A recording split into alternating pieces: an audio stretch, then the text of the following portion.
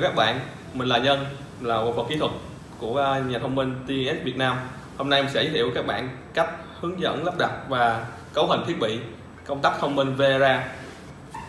Thì trước tiên mình sẽ có hình à, hướng dẫn các bạn về cái vấn đề tháo để lắp đặt công tắc Vera vào đế âm trong gia đình của mình.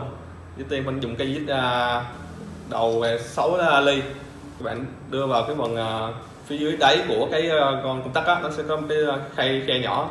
Bạn đưa công tắc vô bạn đưa con vít vô.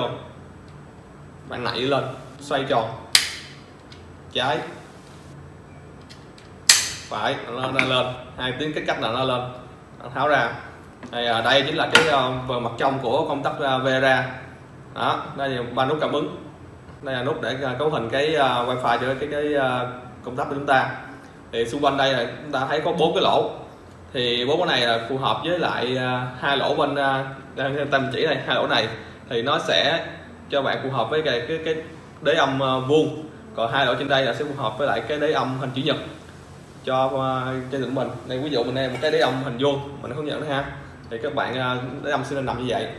Công tắc mình sẽ off như đây. Đó bắt con tường.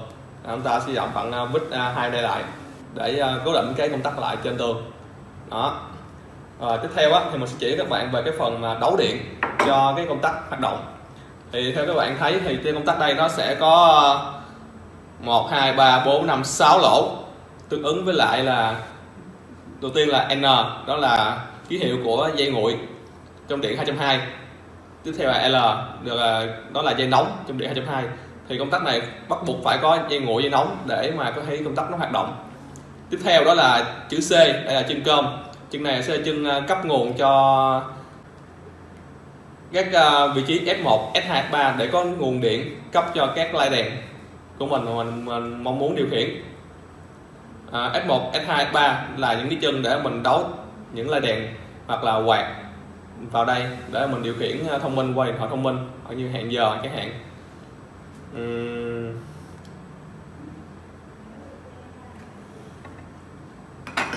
trước tiên thì mình sẽ, bắt đầu làm đấu điện cho các bạn xem thử ha.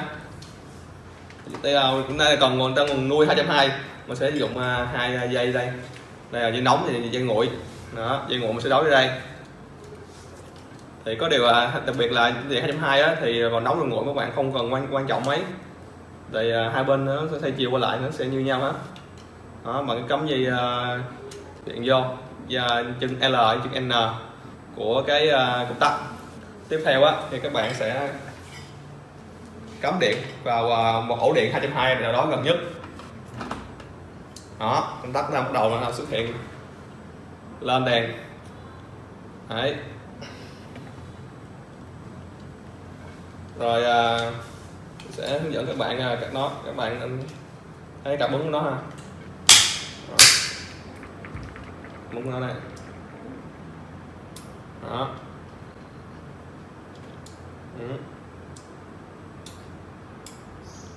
đó.